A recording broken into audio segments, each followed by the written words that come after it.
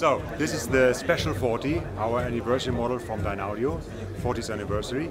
Um, so it comes in two different finishes. This is the grey birch, and we also have a red birch.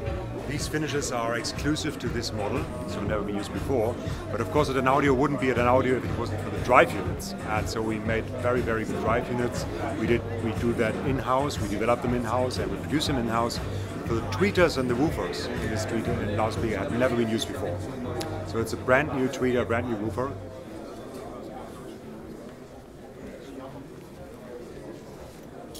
The woofer is based on the uh, best 17 centimeter we had so far, but our engineers uh, couldn't rest, so they found some materials, some ways to construct, construct the woofer to make it even better. So, for example, this is a glass fiber uh, voice coil former.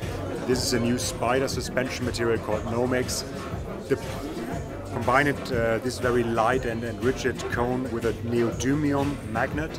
So it's a very, very powerful magnet combined with a very, very light cone and uh, voice coil.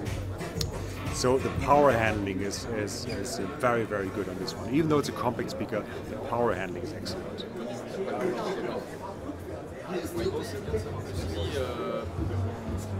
And one more thing is the tweeter. The tweeter is uh, based on the Esotar 2, which is Dynaudio's best tweeter we have uh, in the company. But again, our engineers found some areas to improve it even further. For example, it's a higher grade neodymium magnet.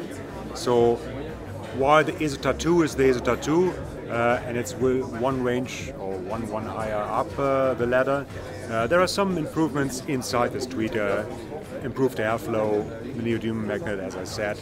And the special thing about these two drive units is the integration is, is very, very good in the frequency response and the sound radiation. So the new mid-range goes very high up into the mid-range, into the upper mid-range, whereas Tweeter goes very low into the mid-range. So even without the, the crossover, it's a very, very smooth crossover, blend over, blend of all the trees and the together. And then we have a first order crossover.